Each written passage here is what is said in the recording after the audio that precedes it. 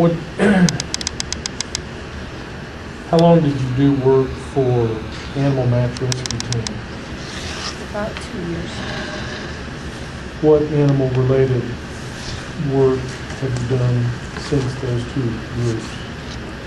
I started my own nonprofit in 2002. Is that Animal Advocates? Yes, What is Animal Advocates? it's a nonprofit corporation. Is it a registered nonprofit corporation in the state of California?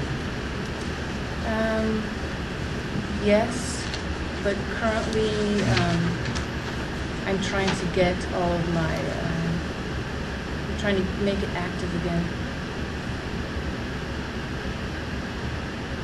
Your status with the state of California, um, animal advocate status is that they've been suspended, correct?